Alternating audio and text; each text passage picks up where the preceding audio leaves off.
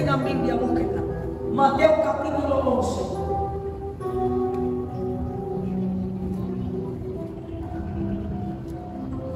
Cuando lo tengan, me regalan un amén. Porque quiero que lea la Biblia conmigo, amén. Y la gente que está conectada a través de Facebook, de TikTok, también puede buscar su Biblia, leer conmigo esta palabra. Estamos lejos, pero yo creo que mientras que estoy predicando, si puede a la gloria. Cuando Jesús terminó de darles esas instrucciones a los doce discípulos, salió a enseñar y a predicar en las ciudades de toda la región. Y mire, Juan el Bautista, quien estaba en prisión, oyó acerca de todas las cosas que hacía el Mesías. ¿En dónde estaba Juan el Bautista?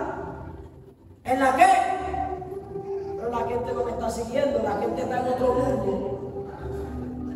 Métase a casa, sacúdese, pégese una galletadita para que se me despierte. Que usted esté aquí y tu mente también esté aquí. Porque si está aquí y tu mente está pensando en la novela, no estás haciendo nada. Escuche, Juan el Bautista, quien estaba en prisión, ¿en dónde estaba Juan el Bautista? En prisión.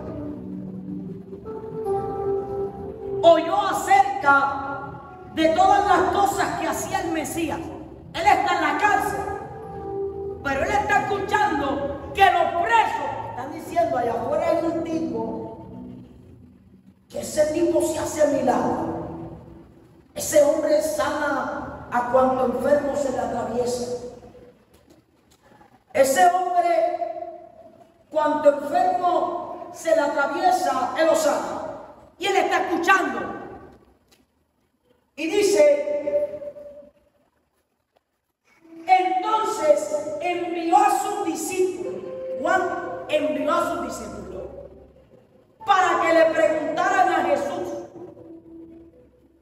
¿eres tú el Mesías a quien hemos esperado o debemos seguir buscando a otro? Mira la pregunta que hace Juan manda dos de sus discípulos y le manda a preguntar a Jesús, ¿eres tú el Mesías o tenemos que esperar a otro? Diga conmigo, duda. Diga, diga, duda. Juan tenía una duda, tenía una incógnita. Jesús Juan y cuéntenle lo que han oído y visto. Los ciegos ven, los cojos caminan bien, los leprosos son curados, los sordos oyen, los muertos resucitan y a los pobres se les predica la buena noticia. Y díganle, Dios bendice a los que no se, a los que no se apartan por causa de mí. Mientras los discípulos de Juan se iban, comenzó a hablar acerca de Juan a la multitud. ¿Qué hizo eso? Esperó que los dos discípulos de Juan se fueran. Y cuando se fueron, comenzó a hablar a la gente. Mira lo que Jesús dice. ¿A qué clase de hombres fueron a ver al desierto? ¿Acaso una caña débil sacudida con la leve brisa? ¿O esperaban ver a un hombre vestido de ropa costosa? No, la gente que usa ropa costosa vive en los palacios. Buscaban a un profeta, así es. Y él es más que un profeta. Juan es el hombre al que se refiere la escritura cuando dice, mira, envío mi mensajero por anticipado y él preparará el camino delante de ti. Les digo la verdad, de todo lo que han vivido, escuchen, de todo lo que han vivido, Nadie es superior a Juan el Bautista. Diga conmigo, admiración. Quiero que diga conmigo para que usted no se me pierda la. Diga conmigo, admiración. Jesús está diciendo, de los que han nacido nadie supera a ese hombre. ¿Tú sabes qué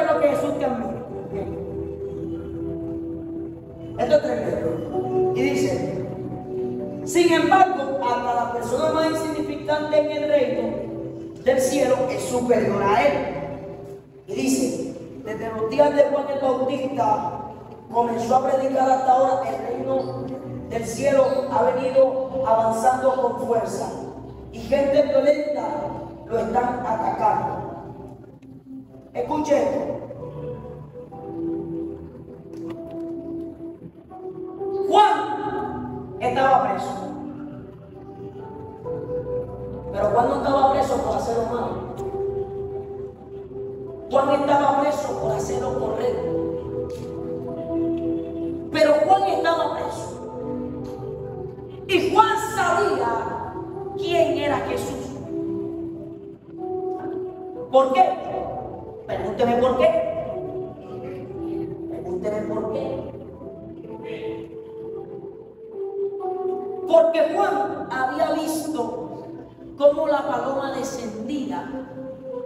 Cuando Jesús estaba siendo bautizado y escuchó la voz del cielo que dijo, este es mi hijo amado en el cual yo tengo mucha complacencia. Juan había visto con sus ojos las señales y los milagros de Jesús. Pero ahora Juan está preguntando que si ese es Jesús. Por eso le dije, Juan tiene una duda. La pregunta del millón de pesos es si Juan sabía que ese era el Mesías, porque lo había visto, había escuchado la voz de Dios. ¿Por qué Juan estaba dudando? Es aquí donde yo voy al mensaje. Las cárceles en nuestra vida nos desconectan muchas veces de la presencia de Dios. ¿Cómo se llama este congreso?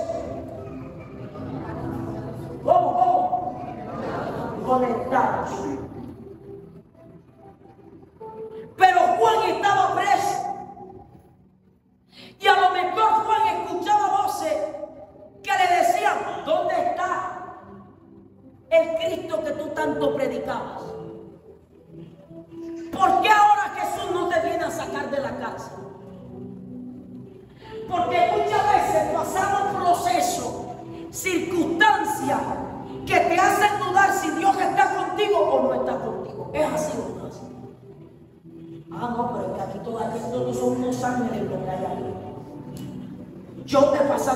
En los que he entrado en duda.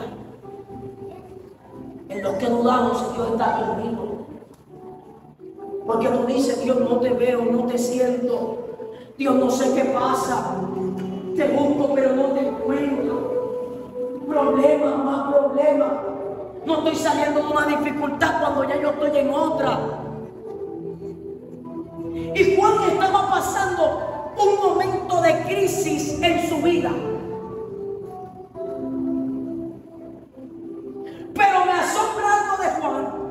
Y es que Juan, en medio de la lucha que está teniendo, que si ese es Jesús o no es Jesús, Juan no se quedó en silencio. Porque Juan aprende que cuando yo hablo o confieso la batalla que estoy librando, Satanás pierde el poder. Hay gente que está batallando con la depresión, están teniendo pensamientos de suicidio, tú tienes que buscar ayuda. Tú tienes que hablar con tu líder, con tu pastor, pastor, estoy teniendo esta batalla, no sé qué hacer. Necesito ayuda. Pero a veces el orgullo impide que nosotros podamos ser sinceros. Yo tengo que abrir mi corazón, reconocer, Dios no puedo, Dios siento que mi fuerza ya no da. Y Juan, cuando manda a su discípulo, Jesús dice, vayan y digan a Juan que los ciegos ven, los muertos resucitan, los paralíticos se levantan. Vayan y digan a Juan que yo soy el Mesías. En pocas palabras, lo que Dios está diciendo es, yo no me he olvidado de ti, Juan. Solo que te estoy permitiendo este proceso porque te quiero enseñar algo. Ahora, Jesús espera que los discípulos de Juan se vayan. Y comienza a elogiar a Juan. Jesús estaba cuidando que Juan no se llenara de orgullo con las palabras que le estaba hablando. Por eso espera que los discípulos se vayan decir, no hay otro hombre como Juan en Y entonces, ¿qué sucede? De que Juan, cuando recibe el mensaje de los discípulos, la fe de Juan es afirmada. Lo que te quiero enseñar a través de este mensaje es que, mira, hay procesos que tú y yo atravesamos, hay circunstancias por las cuales pasamos, que el único propósito del enemigo es desconectarte de la presencia de Dios. Pero en medio de mi proceso, en medio de mi batalla, en medio de las circunstancias adversas que yo esté atravesando, yo tengo que decirle, Dios, en medio de mi dolor te hablando. Cuando dice,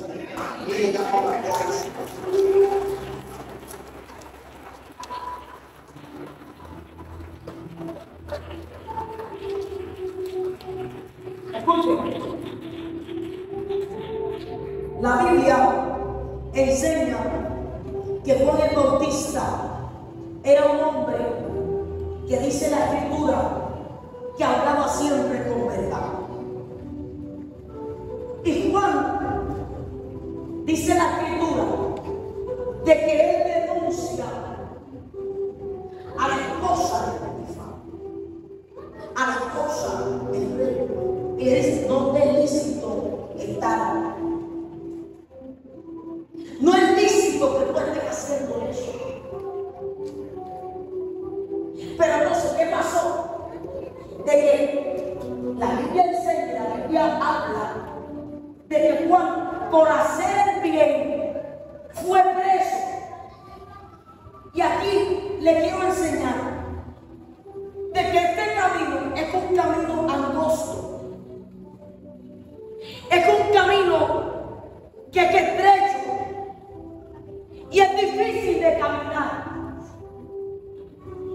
Entonces, la Biblia dice que ancho y espacioso es el camino que lleva a la muerte.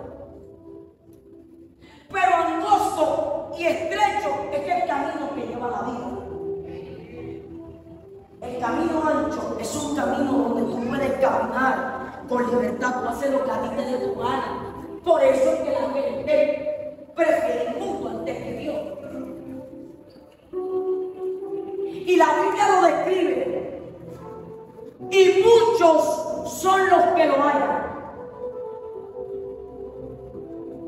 Es decir, que son muchas las personas las que deciden caminar en el camino ancho, a la redundancia. ¿Por qué? Porque es fácil. Pero el camino de Cristo cuesta.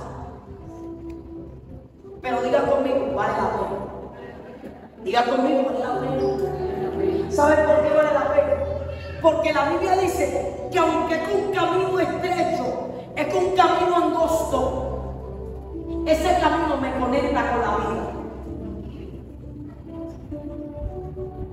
Entonces vemos a un apóstol Pablo que dice en la escritura, dice, esta ley momentánea tribulación producirá en nosotros un cada vez excelente peso de gloria.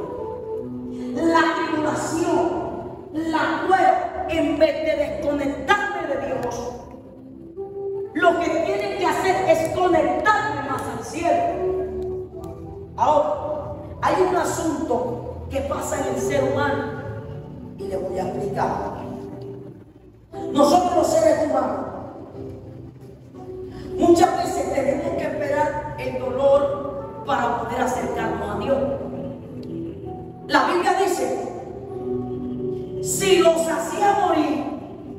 entonces buscaban a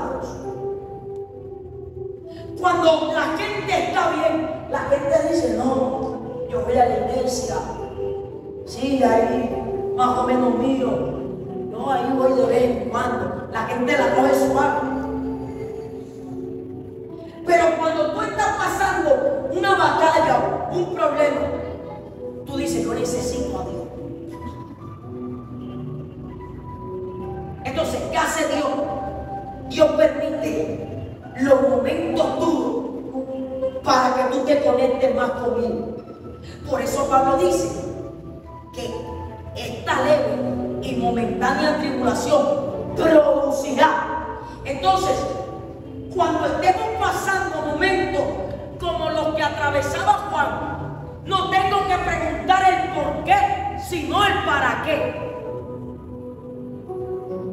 ¿Qué propósito Dios tiene con ese dolor? Pedro, ora para que Dios me dé un empleo.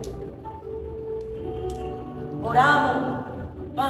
Dios, Padre, un milagro la vida hija.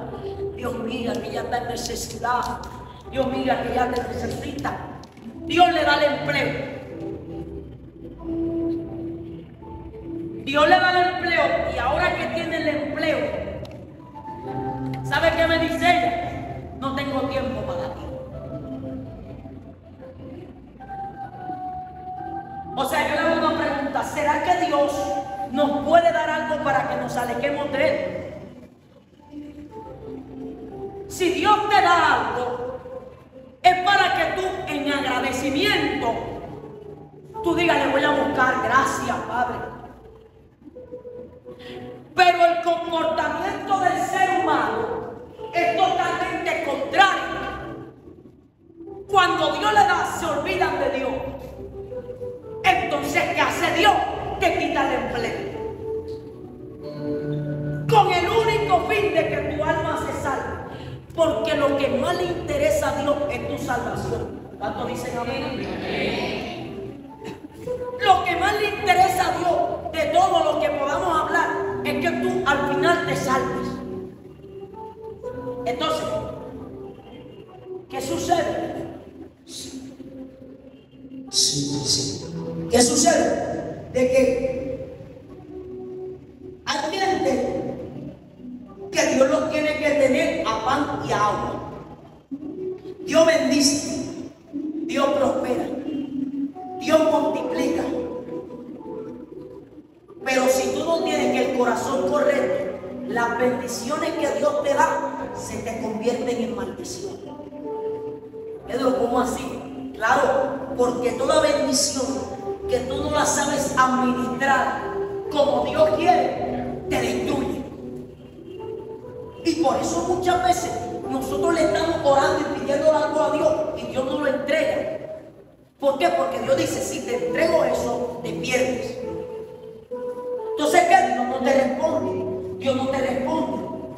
Y estoy hablando esto porque cuando yo leo la historia de Juan, a mí me vuela la cabeza. Porque la Biblia dice que Juan estaba preso. Pero cuando tú comienzas a meditar, la pregunta que Juan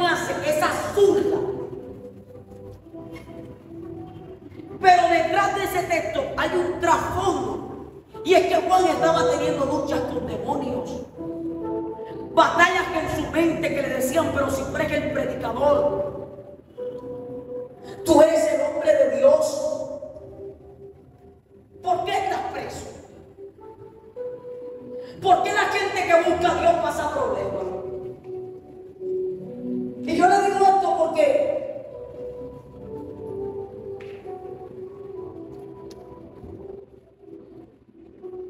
cuando usted busca a Dios, no le quiero mentir en que todo le va a salir bien. Lastimosamente, ese es un mensaje que no vende. ¿Por qué? Porque la gente quiere escuchar algo que es agradable. Pero escucha, Dios procesa, pero Dios procesa para promoverte. Dios no procesa para dejarte en el mismo lugar. Cuando Dios te procesa, es para llevarte a un siguiente nivel. ¿Cuánto dice Dios te procesa hoy, pero es porque te quiere dar algo mayor mañana.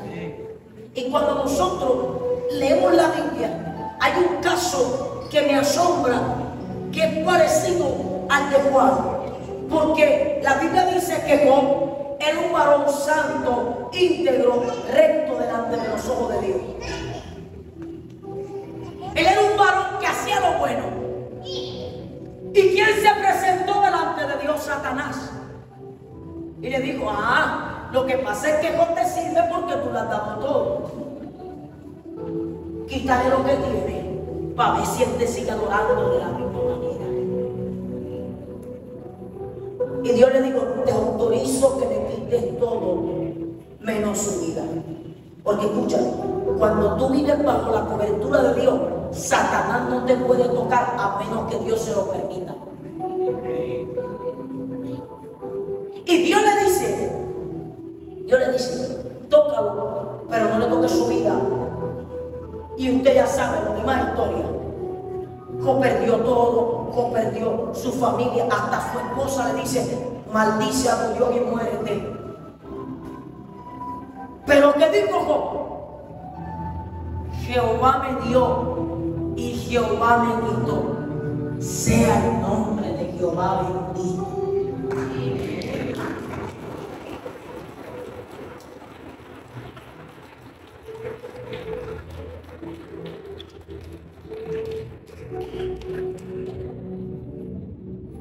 El estar conectado con Jesús cuenta.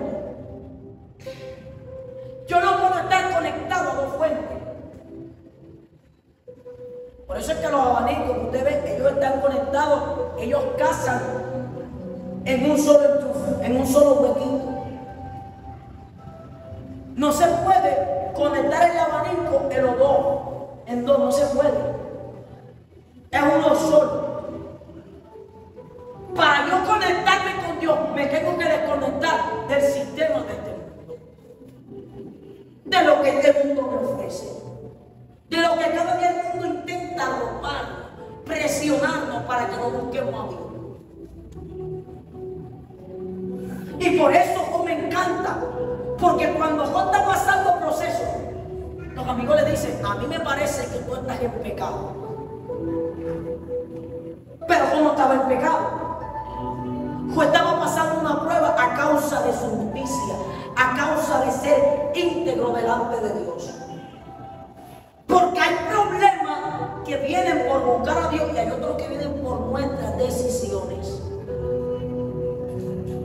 Los problemas que vienen por causa de seguir a Dios, siempre, pero siempre Dios te dará la salida.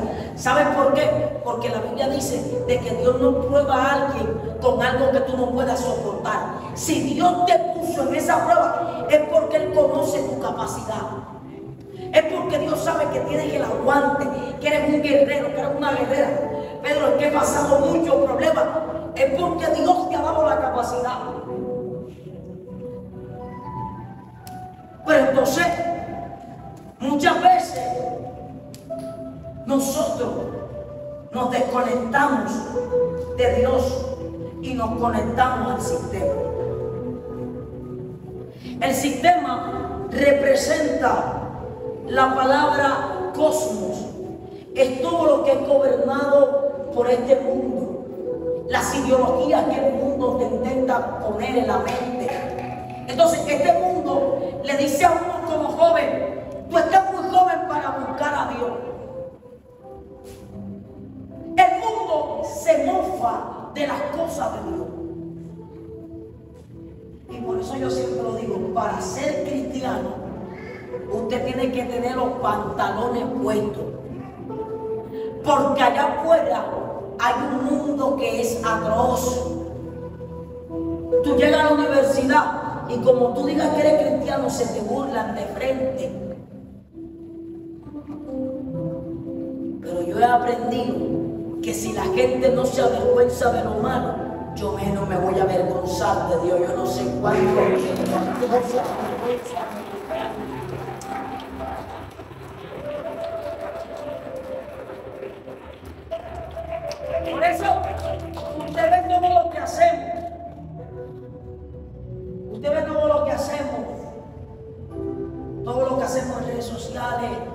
Dinámicas de evangelismo que hacemos.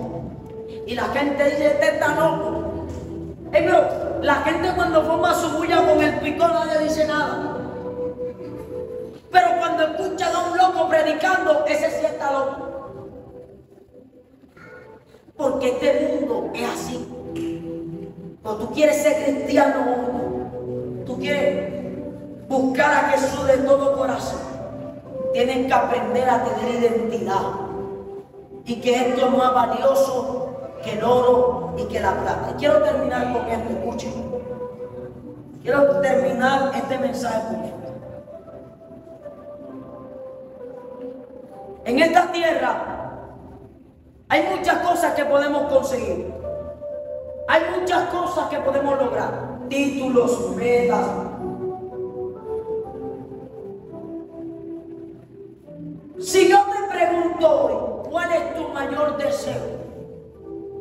Siendo sincero, tú te vas a responder.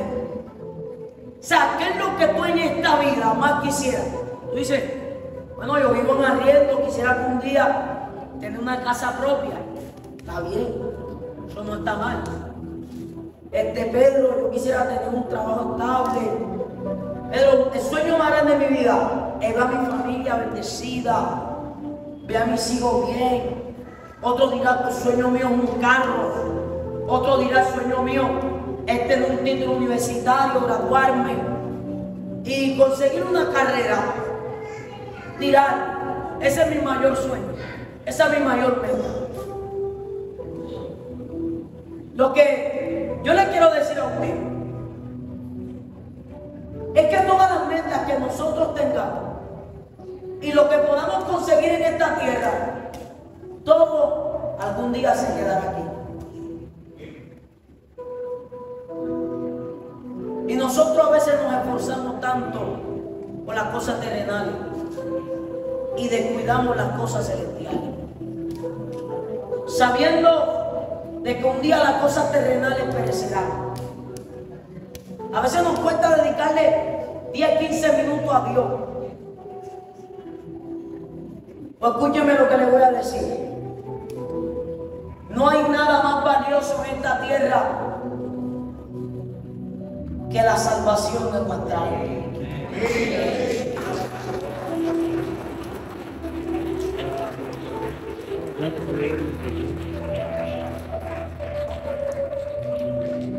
Por eso, usted tiene que entender la importancia de conectarse con eso.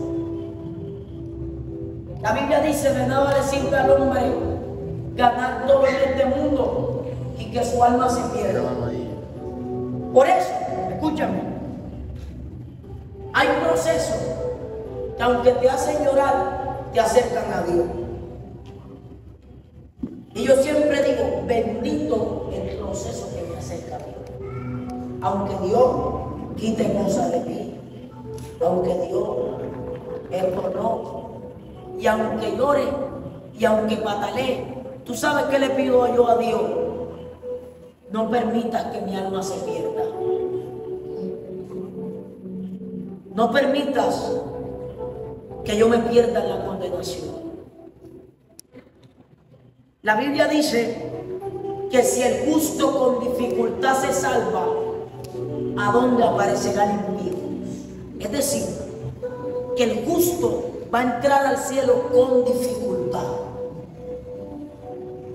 ¿Cómo es con dificultad? Batallando, Dios. Batallando, peleando. Te caíste, te levantas. Te tropezaste, te equivocaste, fallaste. Pedro me tira pata, levántate. Levántate, sacúdete el polvo. Pídele a Dios que te limpie, que te restaure, pero nunca se aleje de Dios. Porque Satanás te acusa cuando tú cometes un error. y te dice, fallaste, que vas a la iglesia. ¿Para qué? El propósito de Satanás es desconectarnos de Dios.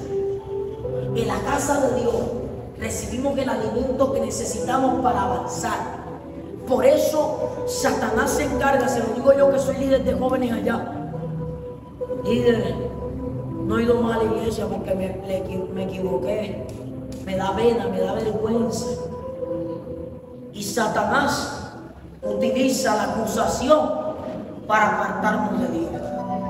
Pero yo quiero que usted me entienda algo hoy, que quiero que le quede. Pase lo que pase, venga lo que venga, nunca, nunca se aparte de este camino. En este camino hay vida, en este camino hay salvación y en este camino tendremos vida eterna. Creo que